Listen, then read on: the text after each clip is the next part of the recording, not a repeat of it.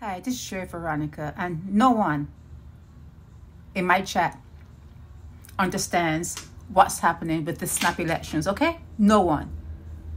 Okay, so we what we're hearing is 17 17 members of Mia Mottley's BLP party were about to go to the president of Barbados, the Republic of Barbados,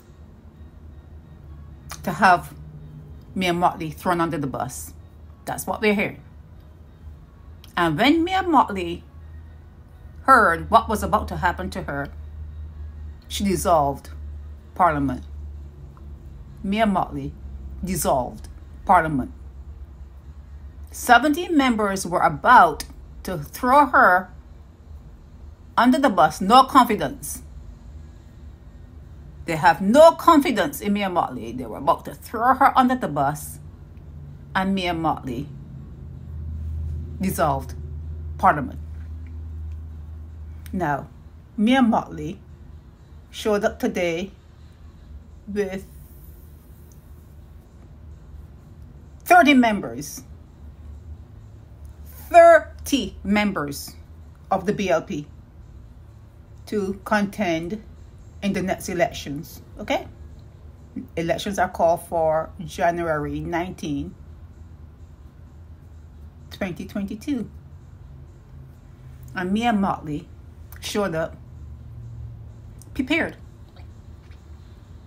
with the 17 who wanted to throw her under the bus. She showed up today prepared to contend in the next general elections. Now, my question is Is everything forgiven? Is she no longer bad for the country? Is there no longer a vote of no confidence? What happened between her dissolving parliament and showing up at the registry today to register to become a new government? And if Mia Mottley wins on November 19th,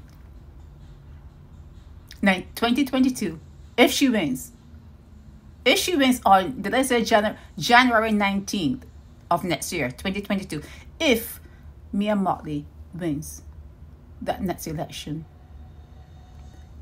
are the 17 who wanted her gone, are they satisfied? Is everything that they were worried about and they were complaining about before, is that all null and void? They have no problem with her anymore? Everything is copacetic? They're buzzing pals? They're kissing buddies? What does it mean? What does it mean? No one, no one in the chat knows what it means. Or if it was a ploy of the DLP, maybe they they, they started the rumor. But the rumor the rumor is 17 members of the Mia Mottley coalition, well, not a coalition, the Mia Mottley party, the BLP, Mia Mottley is the head. 17 members of that party wanted her gone. She called snap elections for January 19th, 2022. She showed up today with 30 full members. 30 full members. We want to know after she wins, if she wins, will everything be forgiven? Is she no longer a no confidence vote in their mind? What happened? What happened between then and what will happen between January 19th, 2022 that makes them okay with the whole situation? That's a question that is unanswered up to this day in my group. No one knows. It's Sherry Veronica. Subscribe, subscribe, like, comment, share, and educate.